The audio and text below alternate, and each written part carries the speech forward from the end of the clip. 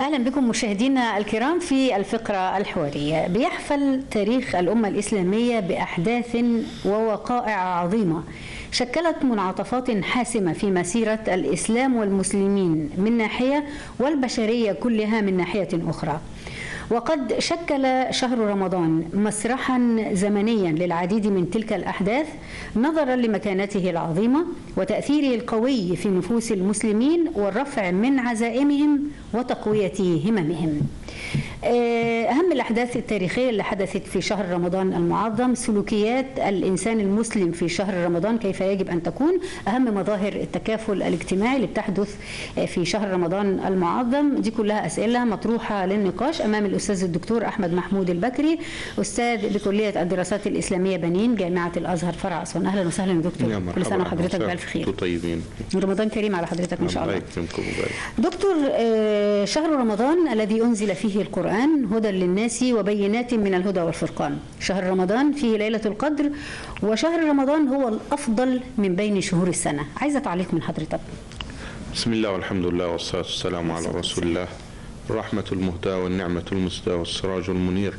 أبلغ العروبة منطقة وأفصحهم لسانا. اللهم صل وسلم وبارك عليه وعلى آله وأصحابه ومن اهتدى بهديه.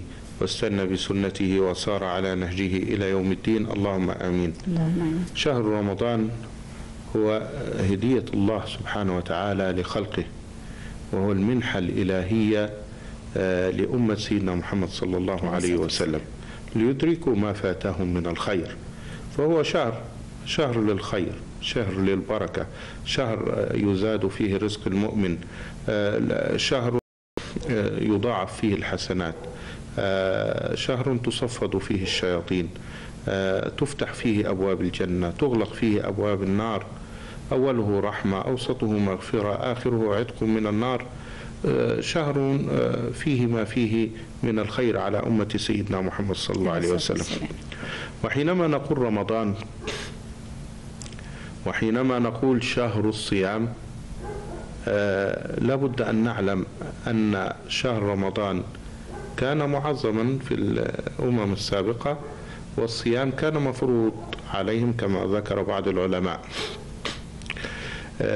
وليس على الناس فقط بل لو تدبرنا لوجدنا أن الصيام يعني موجود صفة الصيام كده موجودة في الكون من حولنا. نعم. الصوم معناه الإمساك. الإمساك نعم. الإمساك. نعم. فكل شيء ممسك على ما وضعه الله عليه. كل إنسان كل كائن كل حجر كل كوكب كل شجر ممسك على ما وضعه الله سبحانه وتعالى عليه. آه إن الله يمسك السماوات والأرض أن تزولا آه لا الشمس ينبغي لها أن تدرك القمر ولا الليل سابق النهار وكل في فلك يسبحون. يسبحون. حتى المياه التي من طبعها الامتزاج. حينما أمرها الله ألا تمتزج أطاعت وأمسكت والتزمت بأمر الله سبحانه وتعالى. مرج البحرين يلتقيان. بينهما برزخ لا يبغيان. نعم. لا يبغي أحد المياه على الآخر لأمر من الله سبحانه وتعالى. أمرها أن تمسك فأمسكت. نعم. لذلك شهر الصيام وعبادة الصوم العبادة المتميزة التي افترضها الله سبحانه وتعالى على الخلق هي متوافقة تماما مع الفطرة البشرية التي خلق الله سبحانه وتعالى عليها البشر. آه، لذلك ليس فيها آه، تشجيع إيذاء آه، لبدن الإنسان ولا يفرح به الأطفال الصغار قبل سن التكليف ويصومون. نعم. لماذا؟ لأنها عبادة فطرية عبادة فطرية. آه، فيها من الخير ما فيها. الخير روحي للإنسان يرقى به الإنسان وتسمو بها النفس إلى مصاف الملائكة.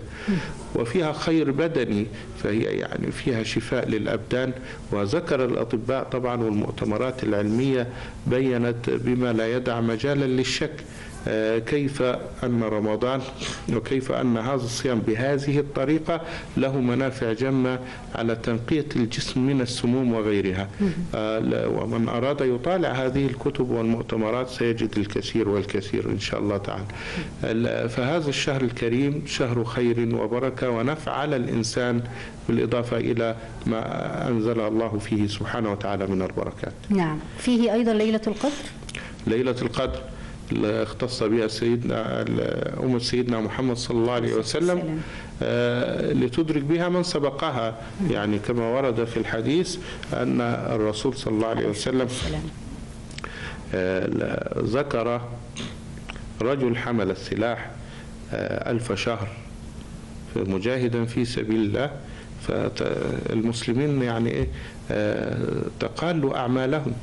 وأين نحن من هذا الرجل في الفضل وكذا؟ فأعطاهم الله ليلة القدر خير من ألف شهر. منحة من الله سبحانه وتعالى. لهذه الأمة آه، تتنزل فيها الملائكة ويفيض فيها الله سبحانه وتعالى بالخير. أكثر من عبادة 83 سنة يعني ده ال- الإنسان مهما كان عمره آه، سبحانه وتعالى يرقى إلى من هو قبله. آه، في ال- ال- الذين كانوا آه، يعيشون ألف عام أو ما يقارب ذلك فهو يقاربهم بالعمل إن شاء الله تعالى. دكتور بعض الناس بيعتقدون إن شهر رمضان المعظم هو شهر إمساك عن الشهوات هو شهر للتعبد والصلاة فقط وليس شهر عمل. آه، بالنسبة يعني لو تكلمنا عن شهر رمضان وما فيه آه، من النشاط والجد. آه، ده يعني كان شهر سبحان الله ده فيه غزوات وحروب وانتصر المسلمون فيه. فمن العجيب الغريب أن يتكاسل الناس في هذا الشهر. نعم. ده بالعكس يورث الإنسان خفة ونشاط عدم الأكل ده لأن ال- الأكل ال- الكثير. وأمثال المعدة. يثقل البدن يعني. يثقل البدن ويقل الفكرة. لذلك العلماءنا القدامى اللي ألفوا المؤلفات وكتبوا الدواوين الكبرى آه، لو تدبرنا حياتهم الشخصية في الطعام والشراب كان الإنسان لا يأكل إلا القليل. يعني يمكث يومه كاملا لا يأكل إلا التمرات وربما أكل حصاة من ملح بقطعة من خبز وربما استف بعض الخبز حتى لا يضيع وقته. وأشياء عجيبة عجيبة جدا. آه، فلذلك كانت عقولهم مستنيرة متوقدة. أخرجوا لنا علوم آه، يعني في غاية الدقة وعلوم في غاية آه، كذلك آه، اللي بيعمل وينشط في هذا الشهر ده بالعكس رب العزة يعطيه القوة آه، مش كده وبس. لا ده يعني يذهب ما في بدنه آه، من أمراض وغير ذلك. آه، زمان بعض الناس كده آه، كان يشتغلوا في الأشغال الشاقة. منهم يعني اللي بيحمل موا- مواد بناء ويطلع قبل كده اختراع ال- الأوناش والأشياء دي. كان آه، يطلع على السجالة إلى أدوار عليا. عزيمته قوية. نعم. وصائب. يعني نقول له انت انت ذو الأعمال الشاقة يعني بتطلع كده بالمسافات الكبيرة وعلى ظهرك حمل ثقيل. آه، قال والله لا أفطر ابدا.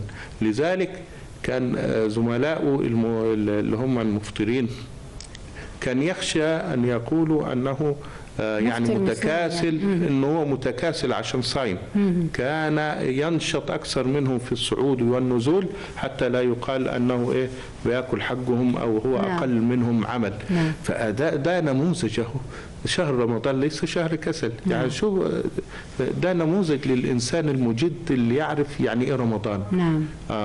ال- فهذا هو الشهر الكريم. نعم هو شهر العمل إذن.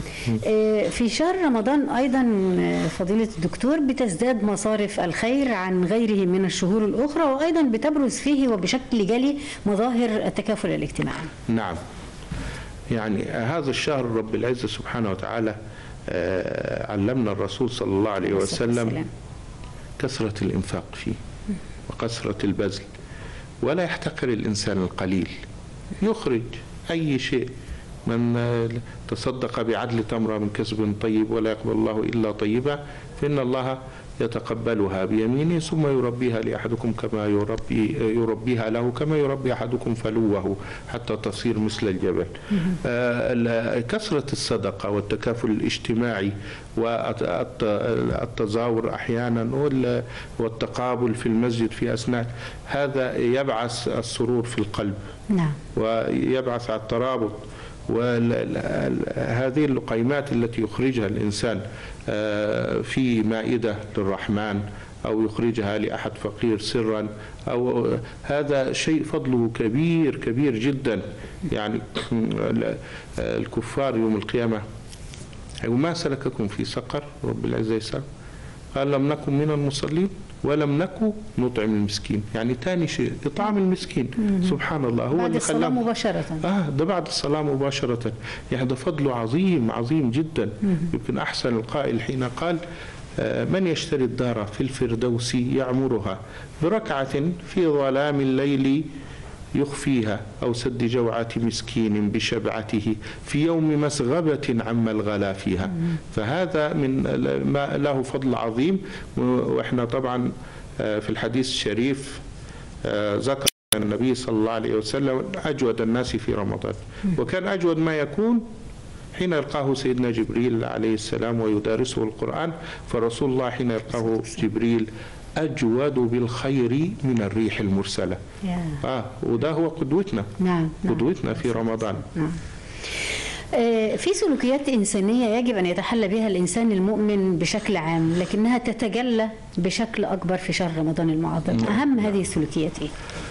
يعني شكل شهر رمضان ده ده مدرسة تربوية عملية يعني النظام الإلهي له أبعاد أبعاد إنسانية وأبعاد أخلاقية وأبعاد روحية آه، تهذب النفس. في الأخلاقيات التي يربيها الصيام في نفس المؤمن. يعني مثلا آه، خلق الإخلاص. يعني ما في عبادة تعلم الإنسان الإخلاص التام زي الصيام ومراقبة الله سبحانه وتعالى. فالصيام يستطيع الإنسان أن يفعل الذنب أو يأكل أو يشرب. ما الذي يمنعه؟ هو في المكان الخالي. نعم. لكنه لا يستطيع. ليه؟ لأنه مراقب لله سبحانه وتعالى. لأنه مخلص لله سبحانه وتعالى. وإذا خلوت بريبة في ظلمة والنفس داعية إلى العصيان ألا فاستحي من الإله وكلها. إن الذي خلق الظلامة يراني هو ده اللي هيتحقق صحيح عند الإنسان. صحيح. تدريب عملي على الإخلاص لمدة 60 يوم آه، لمدة 30 يوم اللي هي مدة شهر رمضان. آه، ده في عملية؟ آه، تعديل السلوك. يعني تعديل آه أو تعديل السوق. يعني نعم. لأن كبح جماح النفس الأمارة بالسوء نعم. وطبعا أنا عاوز أقوم الروح وأرفع من شأنها. فعشان أقوم الروح فأبقى أنزل سلطان المادة. نعم. عشان سلطان المادة الذي طغى على النفس. بنزل شوية بعدم الطعام والشراب عشان أقدر آه، أرفع آه، الروح وأجعلها سامية. أجعلها سامية. فبالنسبة للتربية النفسية دي يعني ربى فينا الإخلاص ومراقبة الله ومراقبة الضمير. الضمير هي محاسبة النفس. كيف الإنسان يحاسب نفسه؟ يعني إنسان كان يفعل الخطأ قبل ذلك كان يرتشي كان يظلم كان يسرق كان فإذا صام ده تدريب عملي على محاسبة النفس. آه وإيقاظ الضمير اللي داخل الإنسان. يقول لك لا طب كلما آه، سعى ليفعل شيء علم أن الله يراه علم أن الله يراقبه علم علم أن الله مطلع عليه. فيتربى عنده خلق المراقبة أو مقام المراقبة إلى مقام المراقبة ده مقام عالي عند. أهل التصوف وأهل الزهد. كذلك مثلا الصدق. ما يرفع من قيمة الصدق ويقوي خلق الصدق عند الإنسان. يعني لما يجي الرسول صلى الله عليه وسلم يقول من لم يدع قول الزور والعمل به فليس لله حاجة في أن يدع طعامه وشرابه.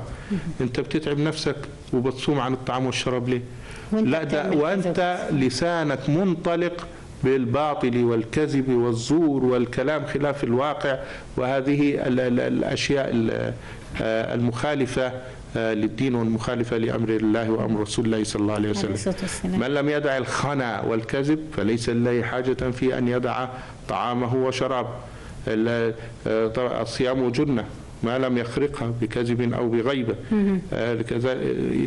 أو يرفث أو يصخب رفث الكلام الفاحش. الصاخب رفع الصوت والخصومة والجدال. فده كله تهذيب للنفس وعملية تهذيب للسلوك. وتهذيب السلوك دي حاجة يعني إيه علماء النفس لما بحثوها وضعوا لها قواعد. يعني أول قاعدة فيها تنمية ال- ال- ال- الأمور الإيجابية عند الإنسان أو نعم. تعظيم الأمر الإيجابي عند إذن يا الإنسان. دكتور يعني ف- فكرة إحنا لما بنيجي نعرف الصيام لغة بيعرف على إنه الإمساك. الصيام هو الإمساك. آه، لكن واضح من كلام حضرتك إنه فكرة الصيام هي مشروع متكامل آه،. ليست مجرد إمساك فقط عن. الطعام أو عن الشهوات نعم نعم هو مشروع متكامل لتهذيب السلوك الإنساني عند المسلم بالذات نعم، نعم. عند المسلم تهذيب السلوك الإسلامي فإحنا تكلمنا أهو على الصدق نعم. مثلا الصبر. الصبر نعم. الصبر ده ما شاء الله الصبر ده على ثلاث أنواع إما أن يكون صبر عن محارم الله. أنا لا, لا. إذا أقدمت على معصية أقول لا أصبر عليها ليه حسبة لله سبحانه وتعالى. نعم. وإما أن يكون صبر على طاعة الله. آه، مثلا في عز الشتاء كده أتوضى مية ماء ساقعة. وانزل أصلي في المسجد في آه، فأنا بصبر على طاعة الله. في الصيام أصبر على الجوع والعطش حسبة لله سبحانه وتعالى. ف... كأنه بيجاهد الإنسان. ما هي آه, مجاهدة للنفس. نعم. صبر. طيب أو صبر على يعني أقدار الله المؤلمة. زي البلاءات اللي بتصيب نعم. الإنسان. نعم. آه، كمرض كذا كذا و- وما شابه ذلك. آه، أقدار الله المؤلمة دي حينما يصبر عليها الإنسان آه، طبعا يؤجر على ذلك. نعم. آه، فالصبر بهذه الثلاثة يتحقق في الصيام. نعم. هو صبر على طاعة الله. وصبر عن معصية الله. طبعا إيه آه، الصيام ليس إمساك عن الطعام والشراب فقط لكن إيه عن عن عن معصية. وصبر على أقدار الله المؤلمة. صبر ذكر رب العزة. بماذا يجازي عليه؟ إنما يوفى الصابرون أجرهم بغير حساب. نعم. لذلك كان الحساب بقى لا يعلمه إلا الله سبحانه وتعالى. آه. الصيام آه. إذا الصيام هو ليس مجرد إمساك عن الطعام وعن الشهوات إنما الصيام هو مشروع إسلامي أخلاقي سلوكي متكامل. هنروح لفاصل ونرجع نكمل مع أستاذنا الدكتور أحمد محمود البكري وحديث حول أهم الأحداث والوقائع الإسلامية التي حدثت في شهر رمضان المعظم. أرجوه رجاء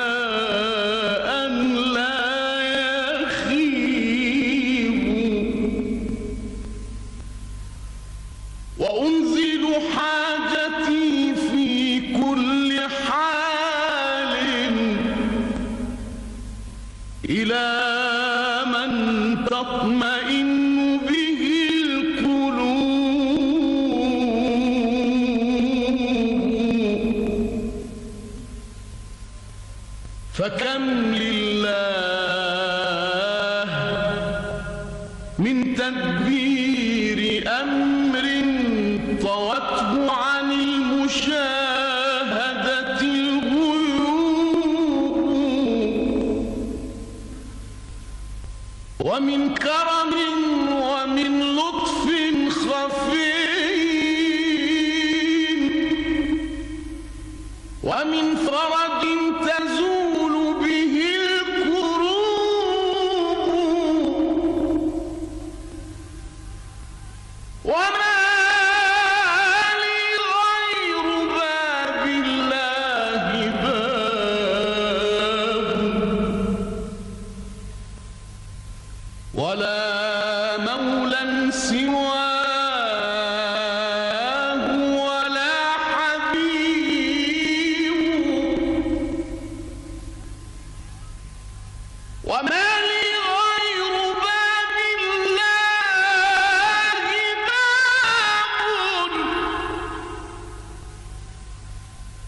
ولا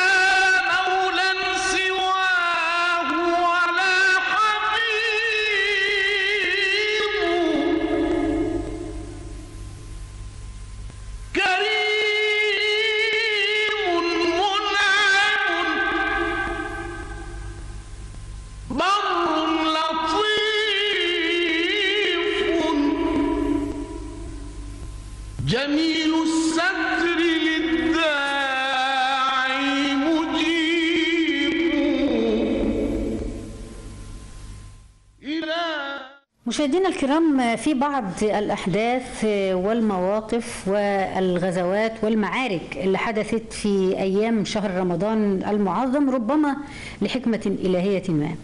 آه، هنتعرف من خلال الأستاذ الدكتور أحمد محمود البكري على آه، بعض المحطات التاريخية اللي حدثت في شهر رمضان المعظم وهنسيب لحضرتك حرية الاختيار يعني تتوقف عند بعض المعارك المهمة الأحداث المهمة اللي حدثت في أيام شهر رمضان المعظم على مدار التاريخ.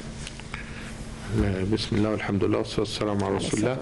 آه، لو تدبرنا شهر رمضان وما يعني بعض الأحداث التي حدثت في هذا الشهر الكريم هنجد يمكن من آه، من الأحداث المهمة الفارقة في تاريخ الإسلام غزوة بدر. نعم. هذه الغزوة آه، التي خرج المسلمون وكانوا لا يريدون حرب ولكن أراد, أراد الله سبحانه وتعالى أن يلقوا عدوهم فلم يكن عندهم من الاستعداد آه، لهذه الحرب. آه، 313 آه، مقاتل. في مقابل آه، في مقابل ألف. نعم. ألف. طبعا عندهم استعداد وعندهم آه، فرسان وعندهم أسلحة ودروع وغير ذلك. آه، بخلاف آه، المسلم معه السيف فقط في يده. آه، طبعا استشارهم المسلمين استشارهم الرسول صلى الله عليه وسلم فأبدوا آه، استعدادهم لما يأمر به الرسول صلى الله عليه وسلم. وبالفعل جاء كانت في السنة من الثانية. من الهجرة. آه السنة الثانية وهي السنة دي يعني اللي فرض فيها الصوم نعم السنة الثانية من رمضان آه، فكانت ال- اللقاء الفارق في أول معركة في تاريخ الإسلام بين أهل الحق وأهل الباطل.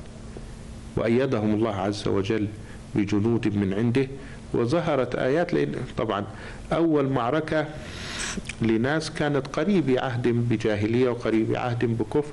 آه، معنى تأييد الله سبحانه وتعالى لسه يعني مش مستقر في عقولهم. يعني إيه تأييد؟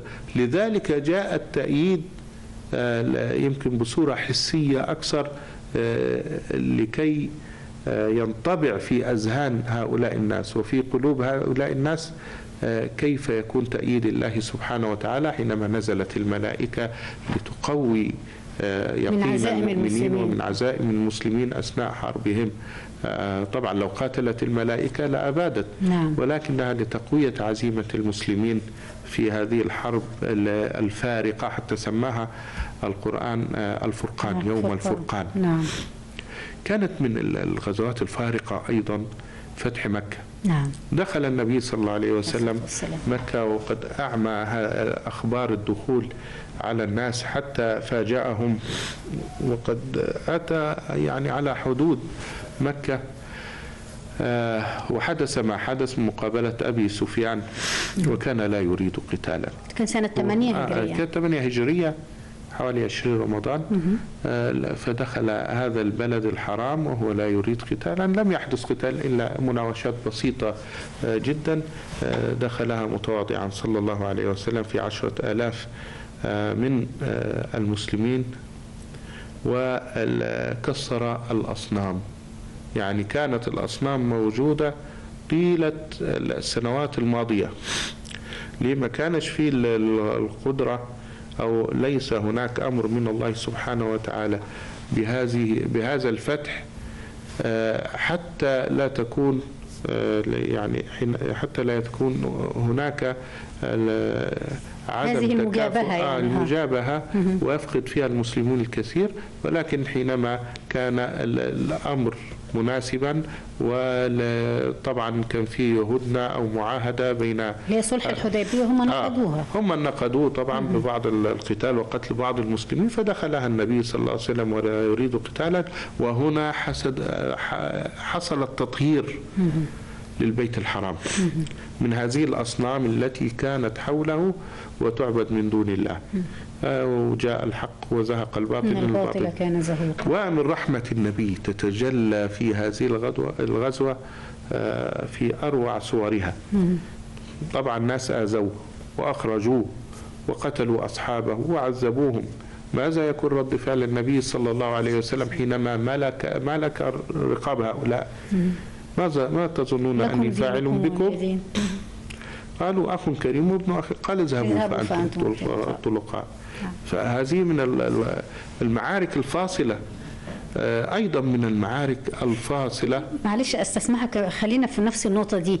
إذا يعني إذا كان فتح مكة آه، لم تراق فيه الدماء ولم تكن هناك حرب أو. غزوة نعم. بالمعنى ال- ال- المعروف يعني لماذا أطلق عليها آه، غزوة فتح مكة أو معركة فتح مكة يعني لماذا حملت هذا الاسم أو هذا التوصيف رغم أنها ليس فيها أي ملمح من ملامح ليس؟ معنى غزوة إنه لا بد أن يحدث فيها قتال نعم. لا يعني دخول الدخول آه، عملية فتح- الفتح نفسها فتح أو آه نعم فتح ال- أو غزوه أي حاجة شارك فيها النبي صلى الله عليه وسلم كانت. تسمى نعم. آه، بغزوة. حينما قال يعني إيه فرقوا بين الغزوة والمعركة و- والأشياء زي كده فقالوا أن الغزوة ما شارك فيها النبي صلى الله عليه وسلم. طيب نعم. آه، والمعركة هي ما لم يشارك فيها النبي صلى الله عليه وسلم.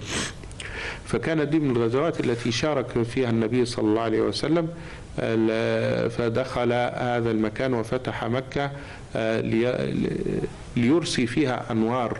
نعم. آه، الحق وأنوار الهدى ويقضي فيها على الوثنية عبادة الوثنية ليعبد الناس إلها واحدا لا شريك له. وبعدين كتير من سادة قريش اللي هم كانوا متجبرين آه، أعلنوا إسلامهم. أثناء فتح الجميع مكة. من هذه الأخلاق العالية والفضائل السامية التي كان يتحلى بها المسلمون ورسول الله صلى الله عليه وسلم آه، أعلنوا إسلامهم أبو سفيان وغيره. كل هؤلاء أعلنوا إسلامهم بعد هذا الفتح. قبل ما نتوقف عند محطة أخرى يا دكتور أنا بس عايز أرجع مرة تانية لغزوة كبرى وأسأل حضرتك فكرة ال- العدد القليل اللي بيحالفه ال- الفوز والنجاح والظفر بنتيجة جيدة يعني في المعركة وأنه ممكن ال- العدد هذا العدد الكبير لا يمكنه أن يحقق أي نجاحات.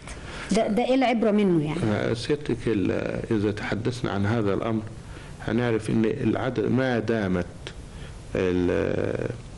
استكملت شروط الجندية الحقيقية في الع... في هذا العدد ولو قليل تحقق النصر. نعم. يعني إحنا نقول كسر المسلمون. لماذا يهزمون؟ لم تتحقق شروط الجندية الحقيقية. نعم. إيه هي شروط الجندية الحقيقية؟ أن يكون على قلب رجل واحد. يعني العقيدة الإيمانية الداخلية وأنت تقاتل تكون على قلب رجل واحد. لذلك المسلمين في بعض المعارك اللي كانت متحقق فيها معنى الإيمان الخالص لله سبحانه وتعالى وطاعة طاعة أولي الأمر نعم. طاعة أولي الأمر القادة بتاعتهم. لذلك علمنا الرسول صلى الله عليه وسلم وعلم المسلمين إلى يوم القيامة حينما يخالف المسلمون أمر القائد يهزمون. حضرتك بتشير إلى غزوة أحد. أحد. نعم. خالفوا أمر القائد هو هو رغم إن هم حققوا نجاح في البداية. آه، لكنهم خالفوا أمر الرسول صلى الله عليه وسلم وهو معهم فانقلب النجاح إلى آه، هزيمة. هزيمة. ليه؟ لو لم يهزمون لكان أمر الرسول لا معنى له. نعم. ده نمرة واحد. نمرة اثنين سببوا إيذاء للنبي نفسه. نعم. فإن لم فهو يعني درس للمسلمين. إن لم نحقق آه، الطاعة لله وللرسول صلى الله عليه وسلم كانت الهزيمة. نعم. كانت الهزيمة. فهي دي من شروط الجندية تحقيق طاعة الله وطاعة الرسول صلى الله عليه وسلم طاعة أولي الأمر والقادة. أن يكون على قلب ثالثا أن. يكون على قلب رجل واحد. إحنا شفنا آه، يعني في بعض ال- ال- العلاء بن الحضرمي حين في فتح من الفتوح وقابلته إيه نهر من الأنهار. شروط الجندية متمكنة في قلوب هؤلاء الذين خلفه. وهو الإيمان الخالص يملأ قلبه. فقال قولوا حسبنا الله ونعم الوكيل. فقالوا حسبنا الله ونعم الوكيل ومروا. فإذا بهم يمشون على الماء. يا الله. يعني سبحان الله. سبحان الله. آه، يعني فتح آه، يعني تونس شدة آه، بالله القاهرة. ممكن تتحقق معها يعني المعجزات معجزات. ربنا يسخر له الكائنات. الكائنات تسخر له. الأرض السماء البحر. كل الأشياء تسخر له. نعم. ونحن شفنا في في معركة معركة آه، السادس من أكتوبر العاشر من رمضان. نعم. المعجزات كانت تحكى صحيح. معجزات. يعني. بهذا التكبير ما كانش ما كانش من فراغ. لا نعم. ده التكبير ده كان بيصنع المعجزات حينما يكبر الجندي ويقول الله أكبر بقلب آه، خالص. يعني الصاروخ آه، يخرج يصيب ال- الهدف على طول مباشرة. آه، إذا بواحد يقضي على كتيبة كاملة. نعم. إيه أشياء أشياء تشبه يعني الخيال الحرب الع- العظيمة التي يعني ما زال يعتز بها كل مصري. نعم كل عربي وكل عربي. فقط. هل هناك محطات أخرى بتتوقف أمامها أو غزوات أو أحداث أنا ما يعني؟ إحنا لو وقفنا عند المعارك الفاصلة في الإسلام حنجد مثلا آه، معركة حطين. نعم. صلاح الدين. صلاح الدين آه آه والغزاة. الذين أتوا أن يسيطروا على هذا المكان. استرد ال- القدس وما حولها نعم. استرد بيت المقدس. واسترد المكان وجعله للجميع نعم كان في طبعا عنصرية طرد آه، فصيل بعينه المسلمين والقضاء عليهم والاستيلاء على هذا المكان بقصد الاستيلاء على الخيرات نعم. فقط لا غير نعم. فطردهم ومكن الله عز وجل آه، من طرد هؤلاء وأتاح المكان للجميع نعم. للمسلمين وغير المسلمين آه، يمارسون العبادات كيفما شاءوا كذلك من المعارك. لكم دينكم ولي دين. آه لكم دينكم ولي دين. من المعارك الفاصلة أيضا اللي كان ليه الجندي المصري ليه دور كبير جدا فيها معركة عين جالوت. نعم. وهجوم التتار على المنطقة الشرقية حتى أنهم دخلوا آه، بغداد ودمروا الخلافة. مكان الخلافة وحتى وصلوا هم اللي إلى أسقطوا الخلافة العباسية. آه أخ- أسقطوا الخلافة العباسية. وصلوا إلى بلاد الشام.